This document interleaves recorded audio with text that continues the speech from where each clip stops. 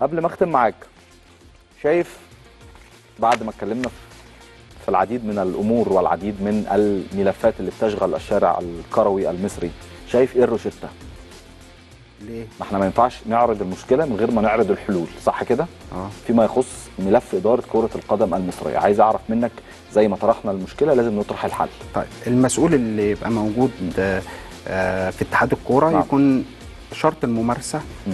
مش لازم يبقى هو شخصية عامة مم. لازم يبقى شرط ممارسة كره القدم عشان تطور يبقى الراجل عاش الأجواء نفسها.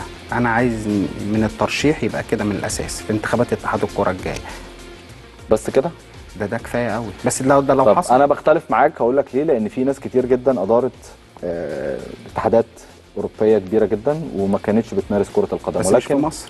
ولكن أنا كلام مش أنا مصر. أنا أنا يعني عندي معلومة أنا دايما آه. مش بنحب إن إحنا نقول رأينا بنحب إن إحنا ندي معلومات للمشاهدين ماشي فالمعلومة اللي عندي والحاجة اللي أثبتت نجاحها في كل حتة في العالم إن أنت تجيب ناس مسؤولين عن هذا الملف دي full time job أو دي شغلانة مش متطوع آه، دي شغلانة آه. بياخد عليها أجر فبالتالي آه. تعرف تحاسبه آه، اللجنة اللي بتدير ملف كرة القدم تكون لجنة من كذا فرد عندها background فسيولوجيه وطبية وأبعاد عن الاستشفاء وتوق- وتوقيت المباريات وتشكيل لجنة بت monitor أو بت audit وبتقدر إن هي تحاسب الناس ديت ويكون في لوائح بتمشي على الصغير قبل